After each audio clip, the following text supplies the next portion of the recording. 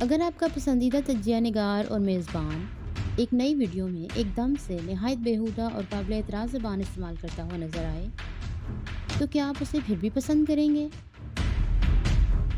کیا آپ چاہیں گے کہ ایک ویڈیو میں آپ خود اپنے پسندیدہ قومی رہنما کی طرح جلسوں میں جوشیلی تقریریں کرتے ہوئے نظر آئیں؟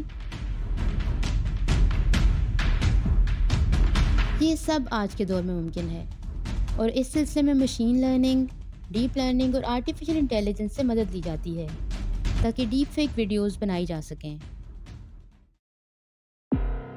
کیا آپ نے ایک ویڈیو کلپ میں سابق امریکی صدر باراک اوباما کو دوسرے امریکی صدر ڈونلڈ ٹرمپ کے بارے میں حد تک آمیز کلمات ادا کرتے ہوئے دیکھا ہے؟ یا ایک اور ویڈیو میں فیس بک کے بانی مارک زکربرگ کو اربوں لوگوں کے چوری شدہ ڈیٹا پر مکمل کنٹرول رکھنے کے بارے میں شیخی بگاڑتے ہوئے دیکھا ہے؟ یا پھر اس سے بھی بڑھ کر یوکرین کے صدر زیلنسکی کو اپنی فوج کو روسی فوج کے سامنے ہتھیار ڈالنے کا کہتے ہوئے سنا اور دیکھا ہے۔ اگر آپ کا جواب ہاں میں ہے، تو آپ نے یقیناً ایک ڈیپ فیک ویڈیو دیکھی ہے۔ فوٹو شاپ تصاویر کی اکیسویں صدی کی شکل یہ ڈیپ فیک ویڈیوز ہیں، جو کہ ڈیپ لرننگ کا استعمال کرتے ہوئے گوگل امیجز یا یوٹیوب کی مدد سے جعلی واقعات کی تصاویر اور ویڈیوز بنانے کے کام آ رہی ہیں۔ ان ویڈیوز کو صدارتی امیدواروں کے نام پر غلط معلومات پھیلانے کے لیے بھی استعمال کیا جا سکتا ہے۔ اور سب سے زیادہ خطرناک صورتحال یہ ہے کہ اگر لوگ اس ٹیکنالوجی کو بڑے پیمانے پر مضموم مقاصد کے لیے استعمال کرنے کا انتخاب کریں۔ ہمارے ارد گرد آج کل پاکستان کے سابق وزیر اعظم عمران خان کی جماعت پاکستان تحریک انصاف نے الزام لگایا ہے کہ مسلم لیگ نون غیر ملکی ٹیکنالوجی کمپنیوں کو اس لیے ملازمت دے رہی ہے تاکہ عمران خان کی عوامی امیج کو خراب کرنے کے لیے ان کی ڈیپ فیک ویڈیوز بنائی جائیں۔ تاہم، ابھی یہ جاننا باقی ہے کہ یہ دعویٰ کہاں تک ٹھیک ہے۔ اس سلسلے میں ایک اچھی بات یہ ہے کہ مائکروسافٹ نے ایسی آرٹیفیشل انٹیلیجنس یا اے آئی سے چلنے والے ڈیپ فیک ویڈیوز کی جانچ پڑتال کے لیے سافٹ ویئرز بھی بنائے ہیں۔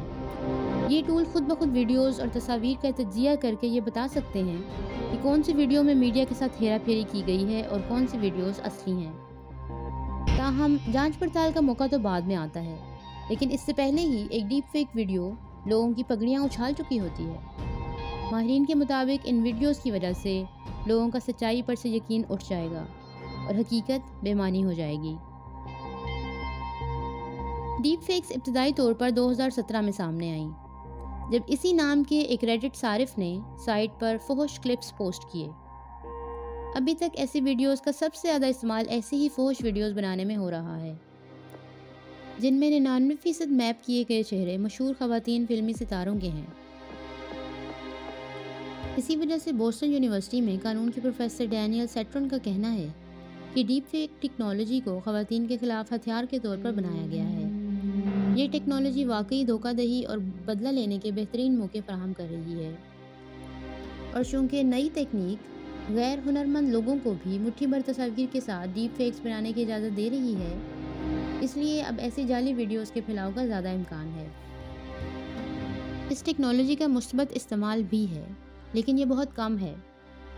صوتی کلوننگ ڈیپ فیکس کے ذریعے ان لوگوں کی آوازیں بحال کر سکتی ہے، جو کسی بیماری کی وجہ سے اپنی آواز سے محروم ہو گئے ہوں۔ اس کے علاوہ ڈیپ فیک ویڈیوز گیلریوں اور عجائب گھروں کو زندہ کر سکتی ہے۔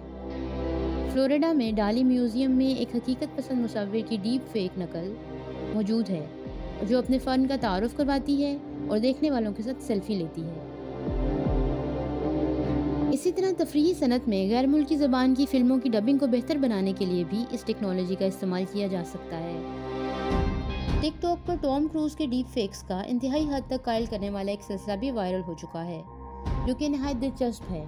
اور یو کے میں ایک ہیلتھ چیریٹی نے ایک مشہور زمانہ فٹ بال کھلاڑی ڈیوڈ بیکم کے چہرے اور آواز کو استعمال کر کے ملیریا کے خلاف پیغام پہنچانے کے لیے بھی ڈیپ فیکس کا استعمال کیا ہے اور یہ پیغام نو مختلف زبانوں میں پہنچایا گیا ہے۔ اگرچہ سائنسدان اس وقت بہتر سے بہتر ٹولز اور پروگرام بنانے کی کوشش کر رہے ہیں، تاکہ ایسی ویڈیوز کو آسانی سے ڈھونڈا اور ضائع کیا جا سکے، لیکن اس وقت اس قسم کی غلط معلومات کے خلاف سب سے بہترین ڈھال یہ ہے کہ ہم میں سے ہر ایک میڈیا سے مزید آگاہی حاصل کرے۔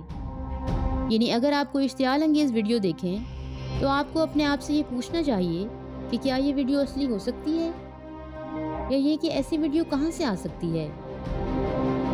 کیا ویڈیوز کے دوسرے ذرائع بھی اس کی تصدیق کر رہے ہیں؟ آرٹیفیشل انٹیلیجنس سے تیار کردہ ویڈیوز کی ایک نشانی یہ ہے کہ آپ عام طور پر ان میں بگاڑ اور دھندلا پن دیکھ سکتے ہیں۔ آپ کا اس ٹیکنالوجی کے بارے میں کیا خیال ہے؟ ہمیں اپنی رائے سے ضرور آگاہ کریں۔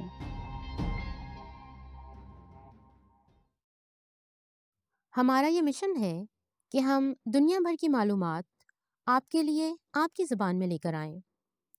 لیکن ہم یہ بھی چاہتے ہیں کہ آپ ہماری کمیونٹی کا حصہ بن جائیں اور اپنے دوستوں کو بھی اس میں شامل کریں۔